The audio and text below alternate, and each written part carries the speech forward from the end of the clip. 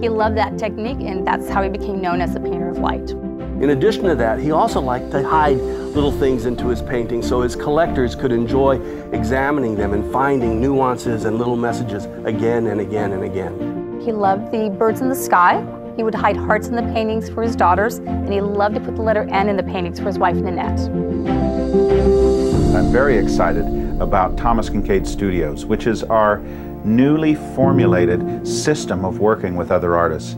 Thomas Kinkade Studios was started by Tom in the 1990s. It was him and him alone. What he wanted to do was bring in a group of artists that could learn from him and he could learn from them. It was always a collaborative effort. He was part of the studios until the day he died. Now the studios has taken over and has continued the Kinkadian style.